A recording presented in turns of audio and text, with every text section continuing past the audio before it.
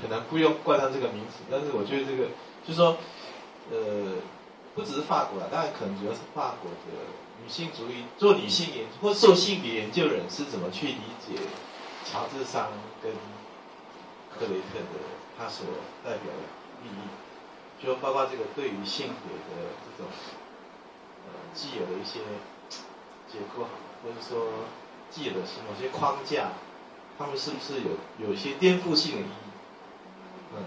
这是就就你所理解。我所理解的是说，哎，应该说，就做克莱特研究，在大学里面的话，我知道巴黎第七大学一个教授叫做，呃，克里斯蒂瓦，他有开关于克莱特的研究的课。目前我知道他在目前的大学里面，然后还有做克莱特研究。就是就从女性主义来来研究的话，是那个嗯，克里斯蒂吧，那个克里斯蒂瓦在研究它。那其他的话比较就是像我去那个师范大学听的，他就是从文字，完全是从他的修辞学在来研究克莱特。那那我对于其实我自己对女性主义也没有特别研究，我比较自己能够接受的概念是，女性就是要活出她女性的的的的。的样，不管是她的身体啊，或者是，讲，或者他的情欲，他就是他就是用他女性的方式去去去去把它活出来。我觉得克莱特是有这样子的魅力。他他是早期就是一九一零七年到一四年，就是秀场结束秀场期间到结束这段时间是有过同性暧昧的一些情感。那之后的第二段、第三段婚姻里面就。就没有再，嗯，就没有再表现，所以就没有再发生这些事情。不过她有跟第二，就是她第二第二任丈夫的儿子，有就是一个十六岁的儿子有发生有就是有过有过这种嗯所谓不我们讲不伦恋，就是我替他，就说他爱上了他十十六岁的儿子，然后可能给他从事的一些性启蒙之类的。有过这么一段，嗯，说绯闻或丑闻比较好。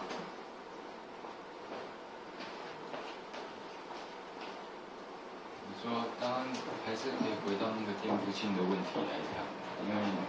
因为在那个时候，我，书里面当然也有提到，在当时的时候，其实为什么要用她老公的名字出版？那实际上就是女性的地位非常低落。然后她可以告诉你讲说，你用女生写啊，市场没人要看，啊，所以呢，她也可能就接受，啊，就接受这样。不然就是当时也有男生，呃，很多作家他们是用男生的名字去发表，因为这样可能会比较有人要看，哦，等等，对。来吧，没关系，你继续啊。我我刚好联，我纯粹是联想的哈，因为就是还是从刚那个那个问题。在举的话，就是说，我举几个例子啊，这大概都有一点，就是说最近，大概也不算是最近，可能就是一二十年来，就是说，要重新找回女性在某些艺术形式表现里面的主体性，然后他们发现说，某些女性的艺术家，其实她是，她一开始感觉上是从属男性，譬如说有一个叫有一个画呃墨西哥的画家，后来拍成电影嘛。还有像罗丹与卡缪，就他他可能在那个所谓的男性支配的社会里面，他其实有很强的创作能力，但是因为他他不不被认定他有创作能力，所以他一开始可能感觉上他是从属于另外一个男性，然后他的作品被重视，然后现在很多人在做这种类似方案的工作，可是我觉得更重要的是说，他是不是在实质上的艺术的表现的呃风格里面，他其实就是有他的特殊性，然后这个特特殊性不是他。只是从属于另外一个人，而是，呃，如果我们真的把它拿拿来感，就是说仔细的去呃考见他的艺术价值的时候，其实他可能自己就有自己的风格，这个就是独创的嘛，所以他就不会只是从属于另外一个，不管那那个人是不是男性，因为对艺术的表现来讲，重点是独创性，而不是他是哪一个性。如果我们现在摆在一个比较性别平等的概念里面来看的话，应该是这个意义嘛。所以，我我觉得更关心的就是，但克雷特他的。他的独创的风格是什么？可能其实刚在您的介绍里面有提到，包括说他喜欢用食物腐烂的 的方式去表现某些呃某些心灵的状态，诸如此类的，这可能就是独创嘛哈。如果不过这有点文学史的研究的这种脉络，呃，就是说如果如果是这样去讨论的时候啦，因为他势必要去跟过去以往的文学的表现形式做比较嘛，才能看出它的独创性以及这个独创性所代表的意义是什么。我用食物，它应该是我我记得，就我的印象所及是用食物，实际上是非常多的，用食物来描写心情也会非常多。我刚的意思就是这样，因为这不太是我的专业，我我没办法从这这个现有的脉络里去判断它到底是不是有独创，或者说他用食物的比喻跟其他人的差别在什么。那这可能就是说，当然如果在场有有这方面的专业，包括有有假设有我们可以可以给我们一点点。有，等一下可以找那个念布鲁斯特的，哦，专门念布鲁斯特的，啊，做布鲁斯特研究的。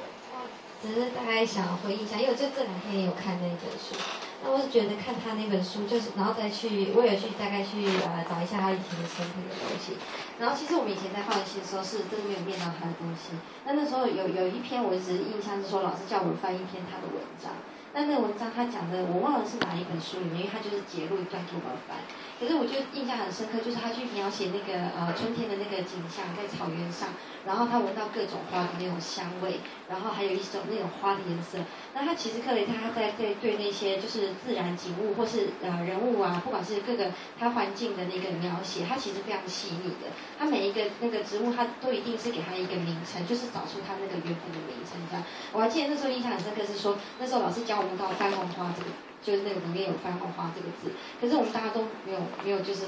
苹果番红花或者是那个它是一种香料嘛，然后老师就真的带了番红花来给我们，那就是叫我们去闻那个番红花味道，看它长那个样子。就是他他那个可以他那个东西是跟他当代那些男性所描写是不一样，因为男性他们是从很外观的东西，可是他身为一个就是女性，她把她自己完全那种就是从身体出发，然后去用她的味觉、她的触觉、她的身体的各种感觉，是用五官去去去找出她的用去做那些文字上的描写，所以他那个东西是跟男性是那种那种感性的程度，还有他那个敏锐的程度是跟那种男性是不一样的。那我就觉得说，呃，要不要说她是女性主义？其实可能不能这样讲，因为她其实呃，女性主义的话，它不是说去强调说，哦，我们要平权，我们要怎样怎样，她就是从一个我不受她这个教条约束这样的方式，我去解放我的身体，这样子，那我就是呃表现我自己，那我就是身为一个女性，那我就是活得很快乐，我就是活得很自在，因为他也不不在乎不 care 别人怎么去说他。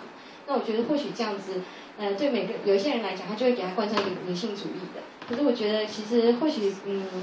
嗯，不太，他他并不是去说啊，一定要去用什么所谓上平权利上的那样的平等，他是用他自己身体的方式，他就把他的身体，就是让我自己掌控我自己的身体这样的方式，然后去做他一个表述的那个。然后，而且就是我觉得我念到它里面有一篇就是描写动物的那个罗拉那一篇，其实很感动诶。他就是讲他跟一个那个小马之间的那个感情嘛。然后那小马每天就来就是，呃，就是他，因为他们那些就是在那种巡回的那些动物啊，都很可怜啊，他们都有点就是有点半虐待他，然后让他们都很臭这样。他每天他就是给那个小马小马一一碗水，那他跟那个动物之间的互动，他其实是非常的细腻，而且他就真的把它当一个人看。就是当然，我觉得真的还蛮蛮推荐大家去看那一篇。因为我自己看都觉得很感动，对啊，然后所以他就是透过这些，就是他跟人之间的接触，然后跟那些呃动物之间的情感这样子，你就会发觉他其实就是一个很有很有很有情感，他其实是很敏锐的一个人这样子，对，